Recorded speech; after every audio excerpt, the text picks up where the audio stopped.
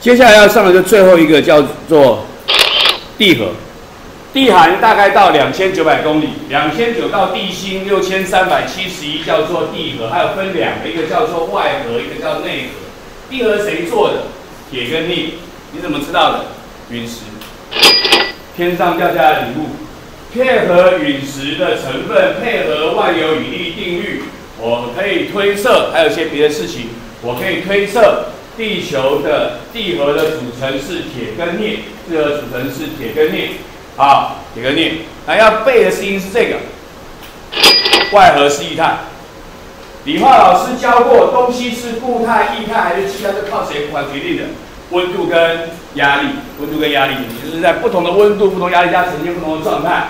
那外核是液态，外核是液态，而内核是固态，内核是固态。啊，这一次是要背的啊，外核是一体，所以要背的事情有，地核是由铁跟镍组成，外地核是液态，外核液态。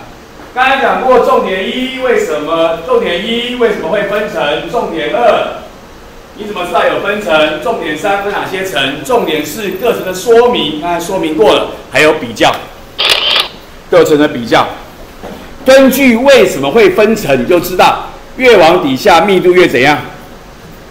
重的沉下去，轻的浮起来，所以越往底下密度越大，厚度也是越往底下越厚。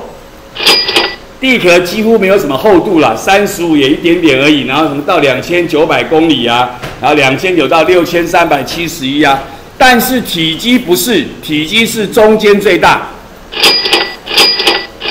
很少人问，但是有人问，问都是故意问的。因为别的东西都是越往底下越大，它不是。你们好像也不会算球的体积，三分之四派啊，三次方，那样也不会算，反正。但是你要知道，知道中间这样就可以。这偶尔会有人问，它们组成不同，地壳跟地函都是由岩石组成的。地壳呢，大陆地壳是花岗岩石，海洋地壳是玄武岩石。地函刚刚讲过是什么岩？橄榄岩，它们都是由岩石构成的。那地核谁做的呢？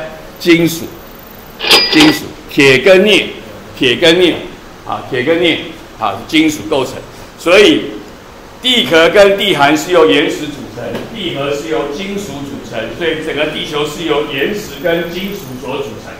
啊，就把它记下来，密度越往底下越大，厚度是越往底下越厚，但是体积是地函最大，地壳最小。然后呢，地壳跟地核的组成是岩石，花岗岩石、玄武岩石跟橄榄岩石。然后地核的组成是金属，这就是我们所需要背的事情，就是我们所需要背下来的事情，就是它的这个的比较，就是你所要知道的，可以吗？OK 吗？OK。